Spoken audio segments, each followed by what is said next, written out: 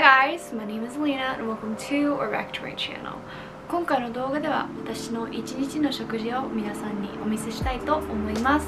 もちろん食べるものは毎日変わってくるんですけど野菜がメインの日だったりジャンクフードがメインなんかマックとか食べたりしてる日もあったりします。なので毎日めっちゃヘルシーとかってわけじゃないです。あと料理するのがめんどくさい時には冷凍食品とかも食べたりします。ちゃんぽんと担々麺うまい。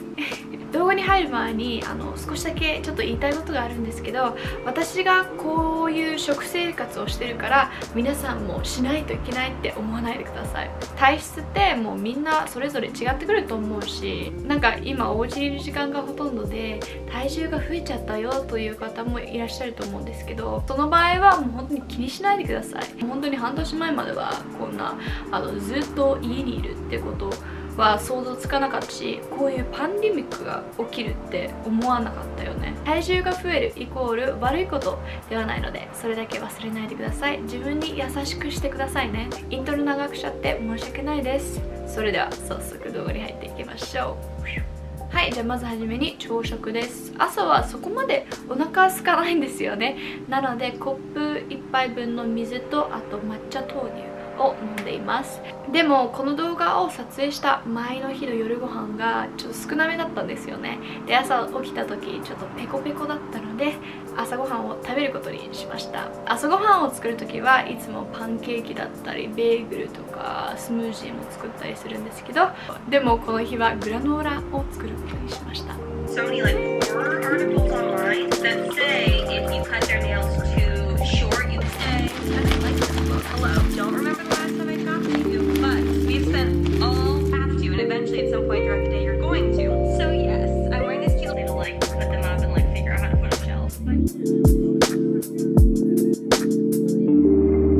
じゃあお昼ランチタイムについてたんですけどお寿司を食べました。お母さんがスーパーでお買い物してる時についでにお寿司買ってもらったんですけどそれとあとお味噌汁。お味噌汁マストだよね。お味噌汁と野菜も欲しかったのできゅうりを切って味噌につけて食べました。昔までわさびとかガリっていうの？ガリ？ガリ？わかんない。昔は本当に大嫌いすぎて匂い嗅ぐだけでうーって感じだったの。今はもう本当にもうプレートとかに大量に乗せて食べたい。不思議だよね。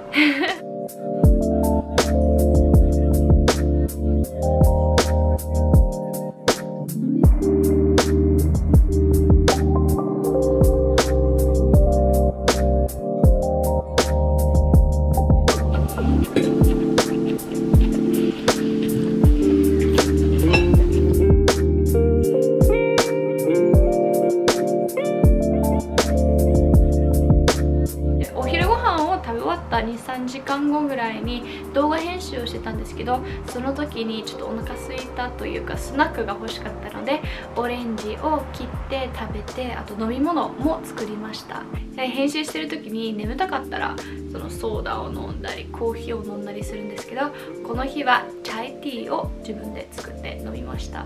結構作るのは簡単でそのチャイティーの飲み物はアメリカに行った時に買ったのを使ってミルクはまた豆乳なんですけど 豆乳を使って自分のミルクフロッサー日本語で何て言うんだろう。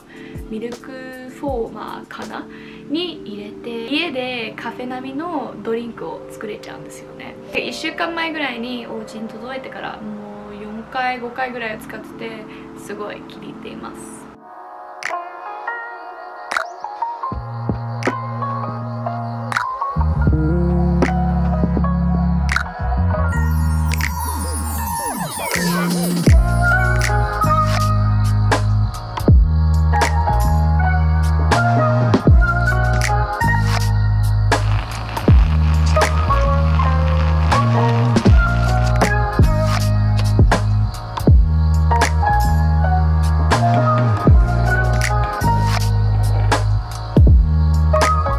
日夜ご飯はお父さんと2人で作りました。お母さんは、えっと仕事やらないといけなくてなんかめっちゃ「ああやんないと」って言ってたんでじゃあ2人で作ろうかってなってお父さんたっちゃんって呼ぶんですけどたっちゃんと一緒に作っちゃいました、まあ、みんな知ってると思うけど私本当に料理苦手で一番上手に作れるというかまあ作れるものはこのアボカドフライだけなんですよね。え揚げるだけじゃんって思うでしょ。でもアボカド切る時とかも結構大変なんですよね。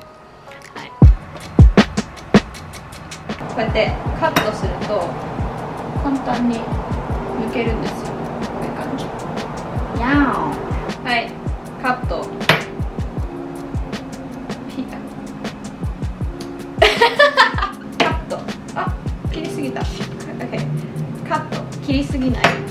すること。でうん。これで全部切りました。めっちゃ汚くて申し訳ないです。勘弁してください。片栗粉で最初つけますその後に卵につけて最後パン粉パン粉私はパン粉担当。二人でやった方が。そうっすね。ママのリクエストでズッキーニも揚げてほしいって言われたんでそちらもやります。ちょっとうまく切れなかったやつはこうやってちっちゃくなっちゃったけど。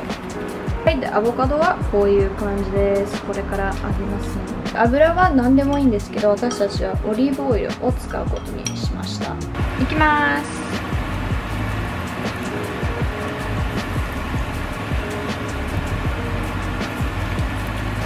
それの方が少ない量の油ですひっくり返します。真っ黒です。じゃないです。いい感じじゃない？真っ黒じゃん。なんで？茶色でしょこれが長いんでしょ？今日の夜のメニュー。はい。これは先ほど揚げたアボカドフライ。あのねちょうどこういう茶色ぐらいの時の方が美味しく。なんかパリって感じだよね。パリじゃない？できない。まあパリッとした感じが一番美味しいから普通にこれぐらいよりもちょっと茶色くなるまで揚げています。でこれがズッキーニフライ。お母様がリクエストしたズッキーニフライ。でこれがソースなんだけどソースはお好み焼きケチャップとマヨネーズをミックスしたものでちっちゃい時からこのソース作ってたんだけどこれとめちゃくちゃ合います。もうあと違うソースもあった方がいいかなと思ってえっ、とカクテルソースだね、シュリンプカクテルとかに使うソース。でチップスハムス。でこれはなんだっけたっちゃん。洋風洋風野菜炒め。野菜煮みたいな。野菜に野菜煮。に Yes! OK こういう感じです。食べましょう。いただきます。いただきます。これで動画終わります。最後まで見てくれてありがとうございます。ではまた次回のビデオでお会いしましょう。Bye guys!